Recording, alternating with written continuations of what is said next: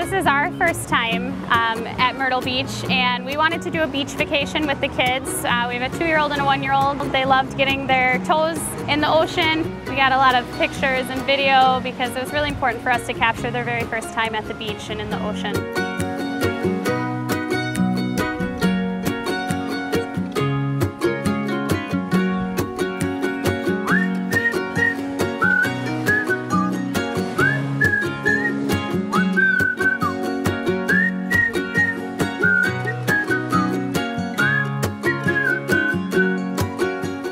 Also like that Myrtle Beach is just very family friendly. There's so much to do here for kids.